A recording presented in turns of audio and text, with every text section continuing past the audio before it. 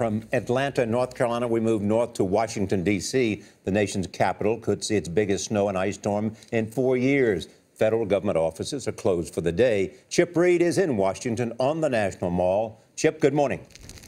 Well, good morning, Charlie and Norah. It's not just the federal government that's closed, it's this entire city. This street, 14th Street, is a major commuter thoroughfare into the city. We've seen more snow plows than cars there this morning. Of course, the Washington Monument and all the other monuments and memorials are closed today. Over here, we have the Agriculture Department closed, the Smithsonian Castle and all the other museums along the mall closed, and all the way down the end, you can barely see it there, the U.S. Capitol. They voted to raise the debt limit and hightailed it out of town town, at least the ones who could catch a plane because National Airport is now closed. Here in D.C. so far, we have about eight inches of snow. They're expecting about a foot west of here in Maryland and Virginia. They're getting a lot more than that. But one good piece of news here, we're not getting the kind of ice they got down in Georgia and the Carolinas. We're getting plain old snow, so there won't be as many power outages, and it's perfect for making snowballs. Charlie and Norah?